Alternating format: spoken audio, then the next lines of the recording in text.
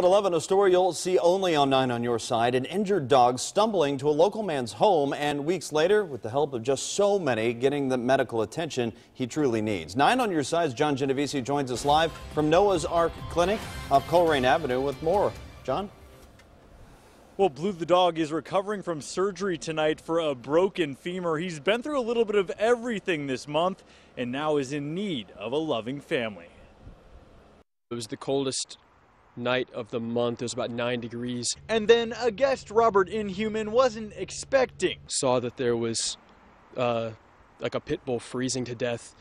Couldn't move, couldn't walk at our uh, back porch. One year old Blue came wandering through the woods. Gave information to friends who put it online. Robert tracked down Blue's owners. The outcome wasn't good. The news was um, he needs surgery. I can't pay for it. We're going to have him put to sleep. But that wasn't an option. I'm a vegan anarchist with a very strong belief in animal liberation. So any opportunity to help anim innocent animal life is, is the core of my life philosophy. So with the help of around 50 people, many of them Robert met through the record label he owns, they raised nearly $1,300 to treat Blue's broken femur and get him the dental work and neutering he needs. It was incredible. With Robert's schedule, keeping him isn't an option. He hopes someone else can.